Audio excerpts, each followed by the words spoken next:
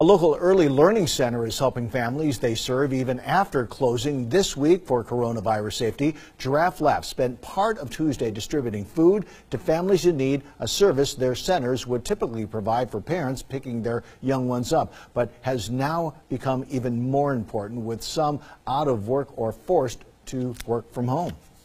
Right now, we're serving about 200 different families, and at least half of those are at risk, and many of them are also hourly employees, and so our concern is for those families and their children that they're getting their basic needs. If you're in need or if you know someone who is, you can find a pantry on idahofoodbank.org and contact them directly for their hours during this time.